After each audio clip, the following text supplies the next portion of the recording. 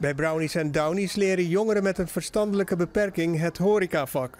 Ze staan in de keuken, achter de bar en in de bediening en deden gisteren hun uiterste best, want de jury kwam een kijkje nemen. Robin Martin heeft zich met zijn collega's er helemaal voor ingezet. Wij zijn echt leuk, echt leuk. En we doen echt onze allerbeste waarvan we maken. We maken het allerbeste van voor iedereen.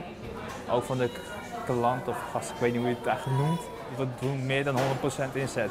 Ook Daniel Hofstede denkt dat ze in de prijzen zullen vallen. Wij zijn het leukste team.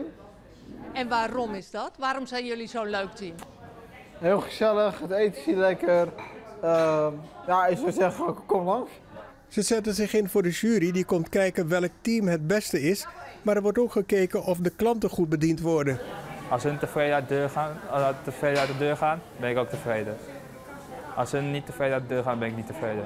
Juryvoorzitter Patrick Trijgel heeft een moeilijke taak, want veel teams vinden zichzelf het leukste team. Uh, we hebben vorige week uh, vanuit alle inzendingen de nominaties uh, gekozen. En ik moet zeggen, dat was een hell of a job. we zouden eerst drie finalisten kiezen. Nou, we kwamen uiteindelijk op tien. Ja, en met heel veel moeite zijn we na drie uur discussie op zes gekomen. Want ja, wat is dan leuk? Hoe lang blijven mensen werken? doen mensen buiten het werk dingen met elkaar? Hoe is de sfeer? Wat vinden gasten van het bedrijf? Kun je ook met iedereen goed opschieten? Ja, natuurlijk. Alleen sommigen niet, maar daar houden we van uit. Oh, daar hou je gewoon rekening mee. Daar loop je gewoon een beetje omheen. Ja. Ik vind het alleen al leuk dat de mensen die de moeite hebben genomen om zich aan te melden.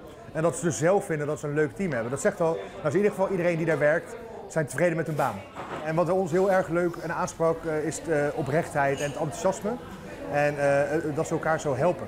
Denk je dat jullie gaan winnen? Dat, dat, dat hoop ik. Ja ik, moet, ja, ik moet gewoon voldoende naar huis gaan. Ik ga niet een onvoldoende naar huis. Maar wat zegt juryvoorzitter Trijgel? Hij ligt een tipje van de sluier op. Ik heb het vermoeden dat ze wel een grote kans maken. Dus uh, of ze winnen, dat weet ik niet, want uh, ik moet er nog naar één zometeen.